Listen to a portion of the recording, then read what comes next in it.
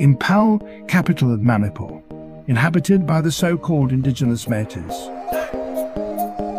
They are proud of their diverse cultural festivals, polo, folk dances, their multi-purpose pukri, singju, iramba, gari, and top of it all,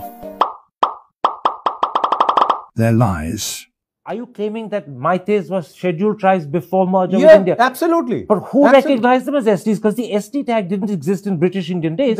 I got datas of 2021 also, which is not yet published, but it is being already analyzed. the census hasn't been done.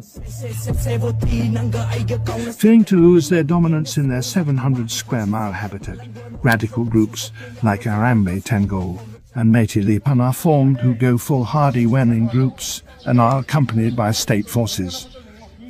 These groups prey on the Kuki-Zo tribes mostly during the night to cover up the radical group's invasion on tribal villages. They have their female counterparts called the Meira Paibis. Their special ability includes crying on demand whenever there is a camera or media person in close proximity. Lastly, the Meiteis are known for their greed, ability to steal or loot anything from their invaded neighbor villages. They are now called the Scheduled Thieves of Manipur, which is a far cry from their initial demand of the Scheduled Tribe Reservation.